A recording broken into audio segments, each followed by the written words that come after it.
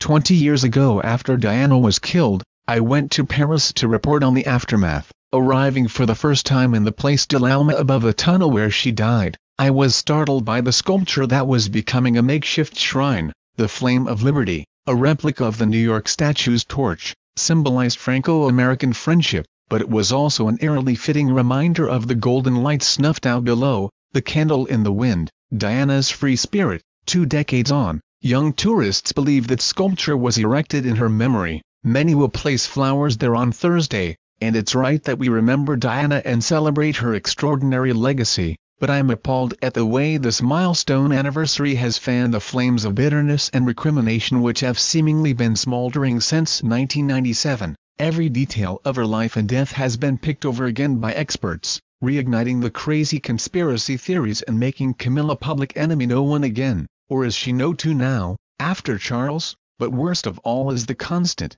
nauseating presence of the self-appointed keeper of the flame, Paul Burrell, the butler who vowed he would never betray Diana's secrets but pops up on every documentary doing just that. This week he excelled himself, going into therapy with a TV psychologist to reveal how he touched Diana's soft and warm corpse in the Paris hospital and slept with her clothes as he grieved, and, oh, how loyal he was when she was alive, getting palace cooks to make vats of custard for the princess to gorge on and fetching piles of towels to enable her bulimic purges. It made me want to vomit. I wonder how his emotional purges affect her boys. William and Harry were the light of her life, and their interviews to mark this anniversary have been heartrending, honest but measured and dignified. I don't know if they've been to the Place de Alma but it's changed a lot in 20 years. Couples have surrounded that golden flame with a ring of interlocking padlocks and made it a shine to love.